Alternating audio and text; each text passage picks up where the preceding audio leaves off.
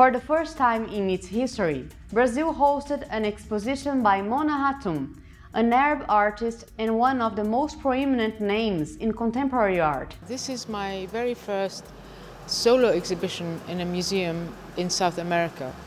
Um, and the exhibition gathers together around 30 pieces of work, uh, some of which I have made specifically for this exhibition during a stay here in, in Sao Paulo for five weeks. And um, so in this room, that's, uh, the, which is the central room of the Pin Pinacoteca, Estação Pinacoteca, uh, with the eight uh, columns, um, we are, I'm showing mostly the recent work that I've made specifically for this exhibition. One of them is a projection on the right here, which is uh, actually a live uh, video projection of what's going on in the street outside the museum. Museums are usually uh, very rarefied spaces where, uh, you know, you're sort of getting away from the street life and, and the life outside. And in this case, I have invited the street noises and the street goings on into the museum.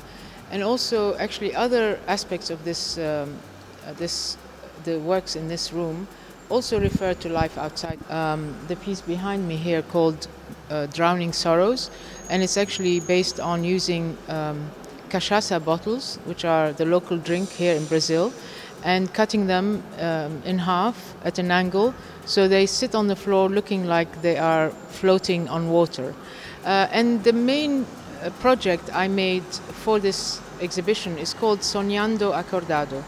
And basically, it's uh, a collaboration with uh, an organization called ACTC, which is an organization that looks after women whose child is about to have a heart transplant. So they offer them housing near the hospital and also they teach them to embroider as a way of keeping their mind off their troubles, but also as a way to earn money while they're waiting for their child to be operated. So the, it was a very simple idea is to, was to ask them to draw and illustrate their dreams or their, their dearest wishes and to uh, embroider them on a pillowcase. Uh, another work which is behind you called uh, Electrified, you have a line of um, objects from the household, kitchen utensils, um, chairs, um, and they are all electrifi electrified. The electricity runs through them to light a light bulb at the bottom, which uh, fluctuates um, up and down. If you imagine someone uh, being um, uh, evacuated from a home, from a house or a, a, squat or something, or illegally living in a house, they would usually throw all the furniture out of the window, and this it has this kind of feeling of being that action suspended, you know, in air.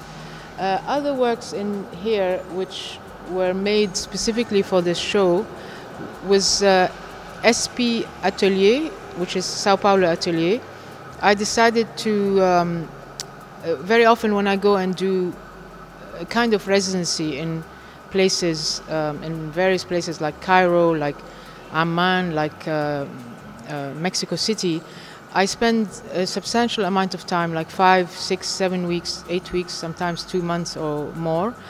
In that time, I accumulate a lot of um, uh, samples of works that I'm trying, or drawings, or planning, or um, you know photography that I take in in the location. So this time I decided to keep all these and exhibit them as um, a kind of record of my stay here and my experience of working on the show. So you will see a lot of things that refer to the works that are in the exhibition.